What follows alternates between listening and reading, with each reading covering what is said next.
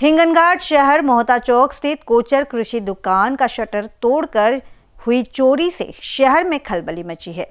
विदित हो कि तीन दिन पूर्व ही इसके बाजू में एक बेलेकर इलेक्ट्रॉनिक्स में भी शटर तोड़कर चोरी हुई थी। उस वक्त सिर्फ़ तीस रुपए चुराने में चोरों को सफलता मिली।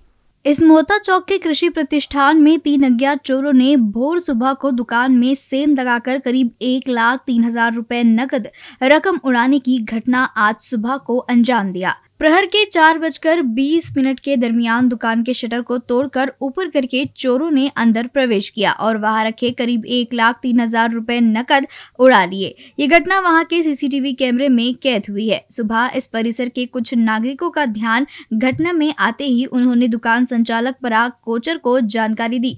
कृषि केंद्र संचालक कोचर ने इस चोरी की रिपोर्ट थाने में दर्ज करवाई।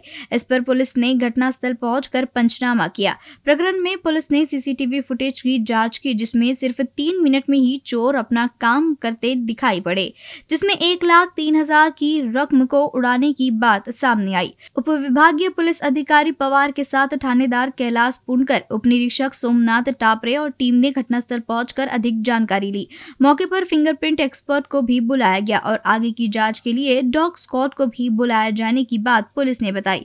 उसी तरह की दोबारा हुई घटनाओं से व्यापारियों में दहशत फैल गई है। शहर में में मोबाइल चोरी, बाइक चोरी के साथ साथ इस तरह की शटर तोड़कर होने वाली चोरियों से शहर में चिंता जताई जा रही है। इन न्यूज़ के लिए हिंगन घाट से रवि की रिपोर्ट।